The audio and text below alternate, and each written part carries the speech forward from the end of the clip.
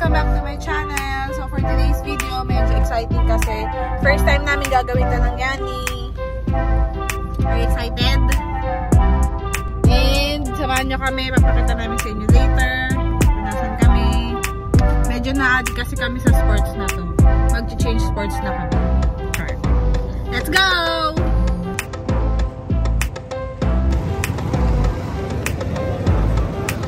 Na-addict kami sa volleyball naman na kami before pa. So, ngayon lang yung talagang first time namin manunood ng live sa court.